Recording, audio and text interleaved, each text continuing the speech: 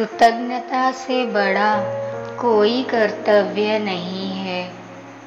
मदद जीवन की एक ऐसी घटना होती है कि यदि आप करते हैं तो लोग बड़ी जल्दी भूल जाते हैं और यदि नहीं करते हैं तो बहुत समय तक ये याद रखते हैं।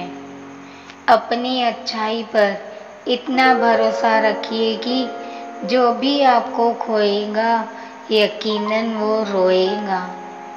सफलता के लिए सिर्फ़ कल्पना ही नहीं, सार्थक कर्म भी ज़रूरी है। सीढ़ियों को देखते रहना ही पर्याप्त नहीं है। सीढ़ियों पर चढ़ना भी ज़रूरी है। मनुष्य के पास सबसे बड़ी पूंजी अच्छे विचार है, क्योंकि धन और बल किसी को भी गलत राह पर ले जा सकते हैं।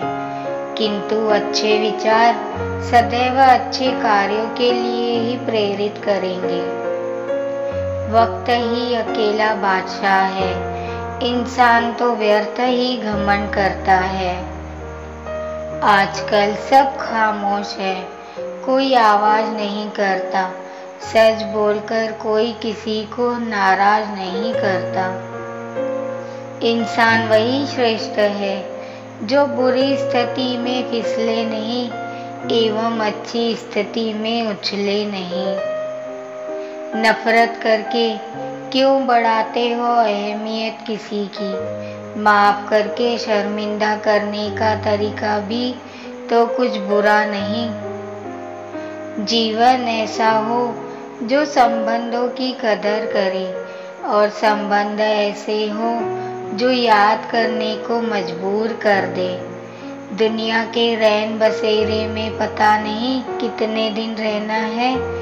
जीत लो सबके दिलों को, बस यही जीवन का गहना है। लोग कहते हैं, दुख बुरा होता है, जब भी आता है रुलाता है। मगर हम कहते हैं, दुख अच्छा होता है, जब भी आता है कुछ सिखाता है।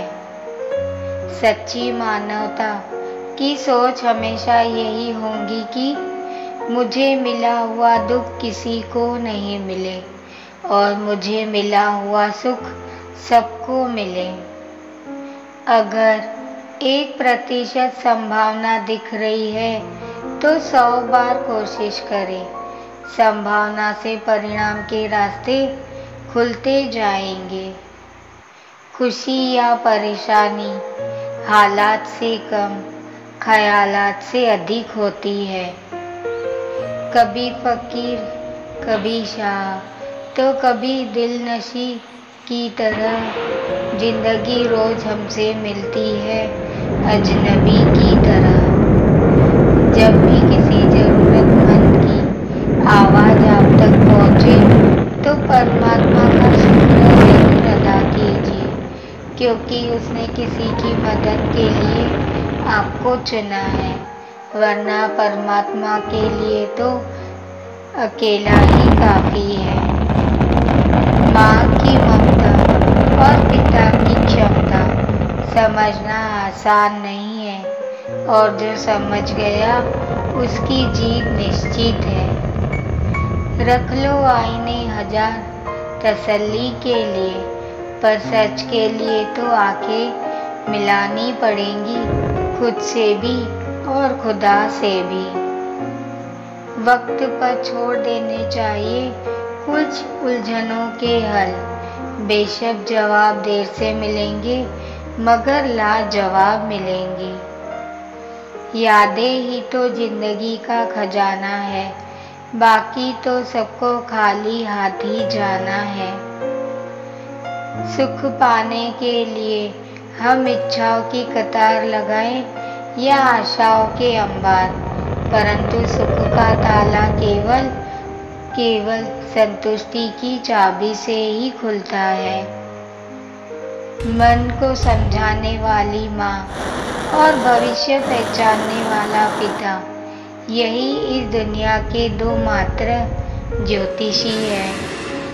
इंसान का बड़प्पन, उसकी हैसियत नहीं, उसकी इंसानियत तय करती है।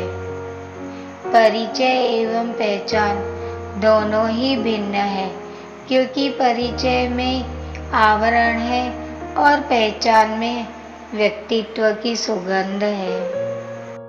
खो देने के बाद पता चलता है कि कितना कीमती था समय, व्यक्ति और संबंध। अपने आज को यह सोचकर बर्बाद मत कीजिए कि मेरे पास बहुत सारे कल हैं। हवाएँ अगर मौसम का रुख बदल सकती है तो दुआएँ भी मुसीबत के पल बदल सकती है। ठंडा पानी और गरम प्रेस कपड़ों की सारी सलवटें निकाल देती है। ऐसे ही ठंडा दिमाग और ऊर्जा से भरा हुआ दिल जीवन की सारी उलझन मिटा देते हैं। सृष्टि कितनी भी परिवर्तित हो जाए, फिर भी हम पूर्ण सुखी नहीं हो सकते। पर दृष्टि थोड़ी सी परिवर्तित हो जाए तो हम कितने सुखी हो जाते हैं।